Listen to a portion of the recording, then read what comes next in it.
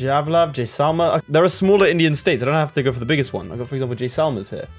A vassal of Mewar. Or Bangladesh. Who are allied to the other J. Alright, well this works. This works. I could I could double up. Okay, my diplomats need to be working overtime to try and persuade people not to murder me. Oh, the Timurids are friendly.